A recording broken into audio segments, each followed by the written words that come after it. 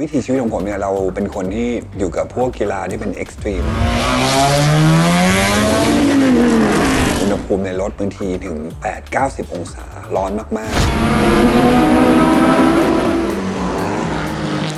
ผิวต่างๆ แล้วอุณหภูมิในร่างกายเนี่ย เจอทั้งฮีททั้งควันที่เป็นมลภาวะ แดด โคลน แม้กระทั่งเราเป็นผู้ชายก็แล้วแต่เนี่ยไม่ควรที่จะปล่อยให้ร่างกายเนี่ยมันพังไปตามอายุที่มีมากขึ้นเรื่อยๆ อย่ารอให้มันเสียหรือพังก่อนแล้วค่อยพยายามที่จะกู้คืนกลับมา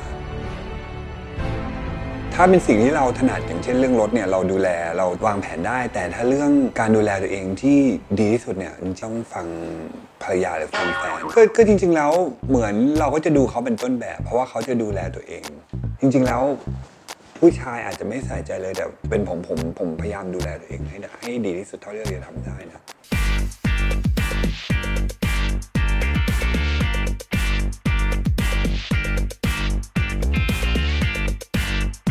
เราบอกว่าให้ลองดูเรื่อง Ruby Number 5เพราะว่าถ้าสำหรับอายุแล้วเนี่ยก็ถือว่ายังยังดูโอเคอยู่เยอะๆ แต่ก็มีปัญหาที่คุณหมอมองเห็น เช่นเรื่องความเบื่อคอยบางบางจุด ซึ่งมันจะนำมาซึ่ง ทำให้เราดูเด็กลง